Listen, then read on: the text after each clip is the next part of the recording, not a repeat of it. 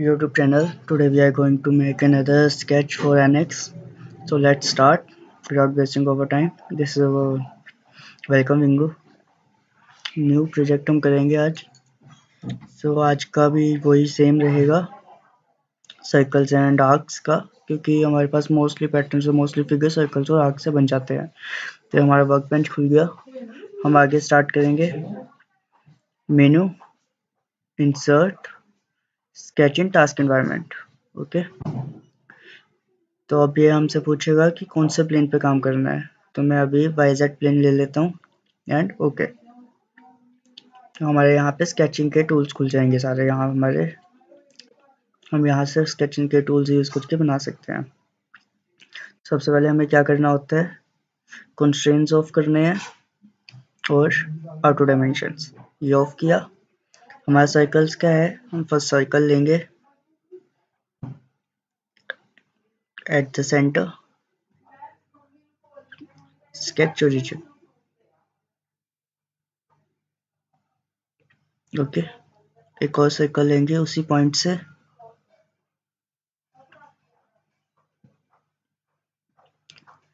अब हम नेक्स्ट इसकी डायमेंशंस देंगे। क्या डायमेंशंस देंगे? कुछ अपने हिसाब से इमेजिन कर लेते हैं। इनर वाले की 50 ले लेते हैं। और बाहर वाले की 146 ले लेते हैं। या फिर कुछ और ले लेते हैं। 50 ले ली। और बाहर का कुछ छोटा ले लेते हैं। 80 ले लेते हैं। ठीक है? क्लोज नेक्स्ट काम क्या करेंगे? हम चेक करेंगे मूव कर सकता है। ठीक है? तो हम इसमें जोमेट्रिक कंस्ट्रेंट्स लगाएँगे। जो होगा कौन साइड कौन साइड क्या करना है? इस पॉइंट को सेंटर के साथ और इस सर्कल के सेंटर को इसके साथ सेंटर अब ये कॉन्सेंट्रिक भी हो गया। क्लोज इतना हो गया। नेक्स्ट हम लेते हैं एक triangle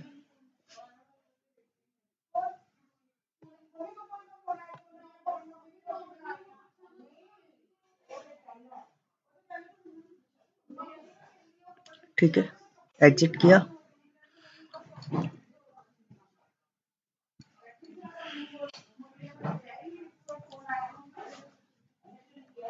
अब ट्रिम करना है। मुझे ये ट्रिम कर देना है। ये ये और ये। ठीक है?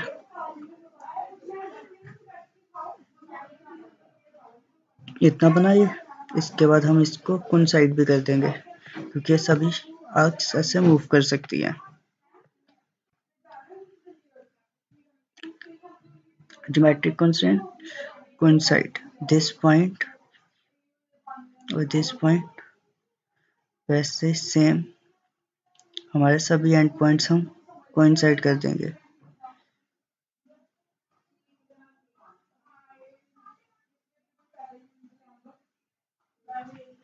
सॉरी ये वाला नहीं। ये और क्लोज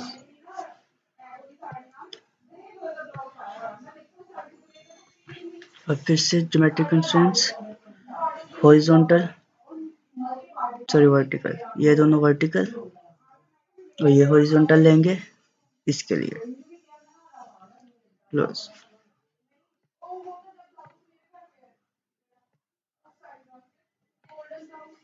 मैं इसको यहाँ पे बस थोड़ा प्लेस कर रहा हूँ। हम चाहें तो इसको डायमेंशंस देके भी प्लेस कर सकते हैं।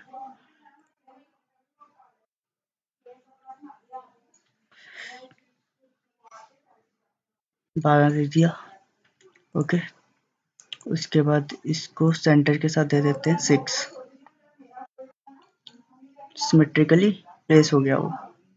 हाइट रहने देते हैं, अपना एजम्पन है वो भी। तो हमारे पास कोई एग्जैक्ट फिगर तो है नहीं जो हमें बनाना है, इसलिए एजम्पन के लिए इतना ही रहने देते हैं इसको। ठीक है? अब इसके बाद एक और सर्कल बनाना है मुझे, इसी सेंटर लाइन पे। यहाँ ले लेते हैं। ऐसे, ठीक है? अब इसकी डायमेंशन देनी पड़ेंगी सर जो लिया है हमने। 145 है 150 दे देते हैं। हमारे पास कुछ एक्सेप्ट तो है नहीं अभी फ़िलहाल। अगर कोई हमारे पास प्रोजेक्ट होता तो हम एक्सेप्ट डायमेंशन देते। अभी ऐसे कुछ भी दे दिया। नेक्स्ट है, मुझे आग चाहिए। मैं लेता हूँ सेंड थ्री पॉइंट आग लूँगा मैं।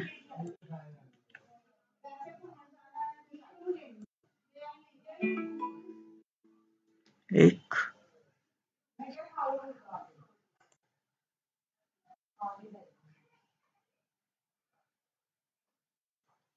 एक ऐसे। ठीक है? इतना बनाया। नेक्स्ट सर्कल लेते हैं।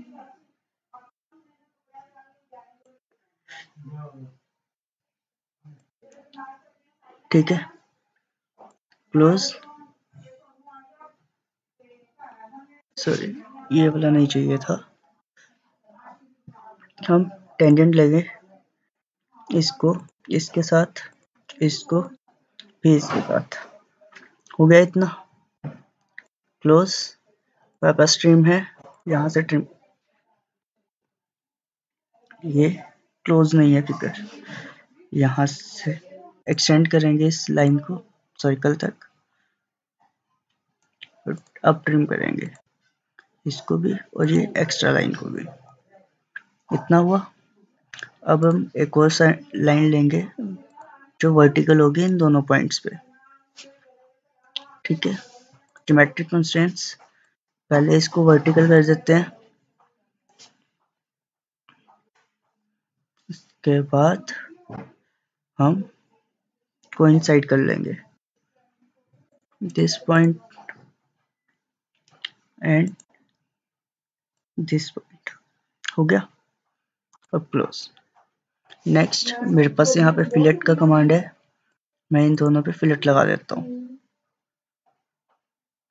दो का लगा देते हैं। सिमिलरली इधर भी।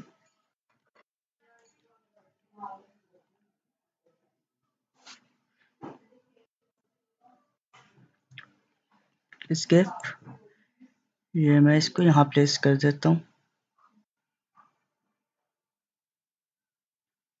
फाइन अब अगर डायमेंशंस होते तो हम इसका भी रेडियस दे सकते थे। या फिर भी एक रैंडम रेडियस दे देते हैं, जो भी आता है इसका।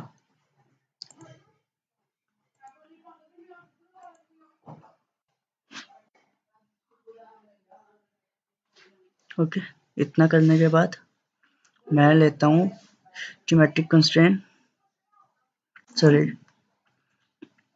mirror command mirror curve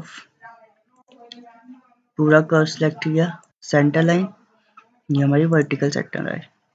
and okay same इधर आ गया हमारे पास. ठीक है?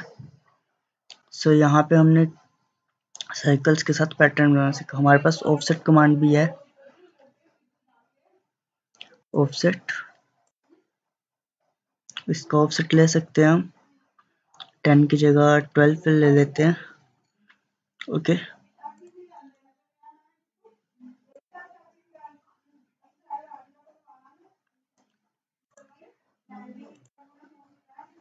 यहाँ से इसको रिमूव कर देते हैं। मेरे पास एक और पैटर्न बन गया। तो ये सिंपल था। और सबसे इम्पोर्टेंट चीज़ होती है, हमारे जो ये डायमेंशंस हैं, ये बाहर होना चाहिए।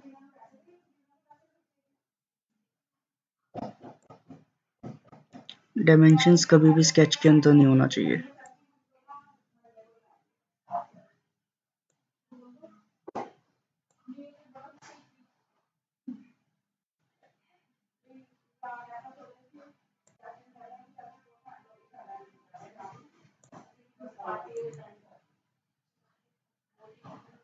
बस, मैं थोड़ा सा डायमेंशंस को अरेंज किया इधर उधर और हो गया।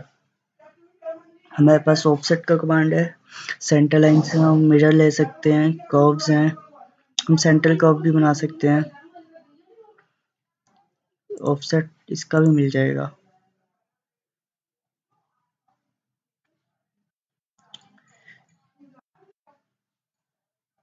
हम डायरेक्शन चेंज कर सकते हैं एरो पे क्लिक करके।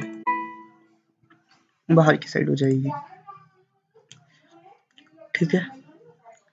पर अभी कंट्रोल सेट फ़िलहाल के लिए इतना ही काफ़ी है। चाहे तो हम इस रेडियस को भी चेंज कर सकते हैं।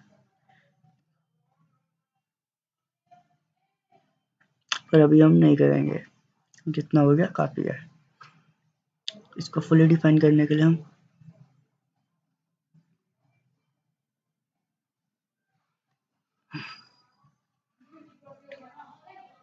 डायमीटर दे रेडियस दे देते हैं इस हिसाब का।